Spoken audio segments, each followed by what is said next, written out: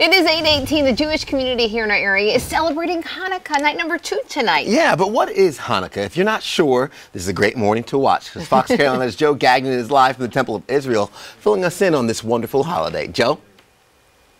Yes, good morning. And last night it was so much fun. Hanukkah on Main went down right in Noma Square in downtown Greenville, and it was incredible. They were dropping gelt from the top of a fire truck, which I've never heard of in my life. And no one could be more excited than Rabbi Sam Rose for the Temple of Israel. And as you said, you never saw anything like that in the States before, have you? Yeah, no, I have not seen anything like that before in the States. Uh, but one of the point, one of the like real important things to do during Hanukkah is the commandment that we have of publicizing the miracle, and there's really not a better way of getting the spirit of Hanukkah out than by dropping candy from a fire truck.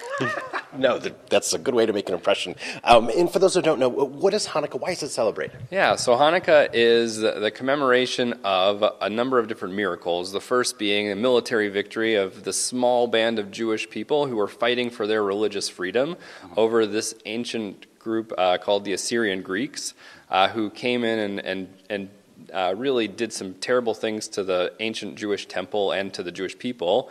And the Maccabees, they won this war, and when they did, they rededicated the temple, uh, which included uh, lighting their light again.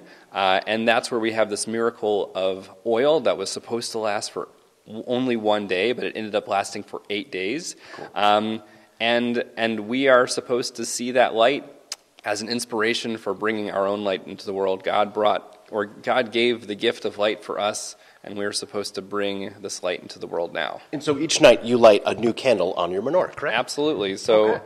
uh, the first night we have one candle that's actually for the holiday, and this candle uh, is called a shamash. It's the helper candle that lights all the other ones. Awesome. Oh my gosh. Well, thank you so much. And have you seen Rabbi Leibel's uh, car? He drives around with a giant menorah on it. It's fantastic. It is yeah. awesome.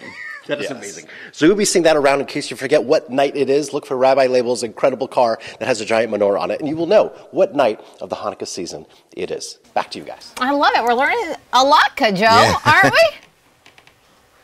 You're learning a lot, Yes. Lauren, well done. I, Hannah, can't believe it. There Learn you go. from the best.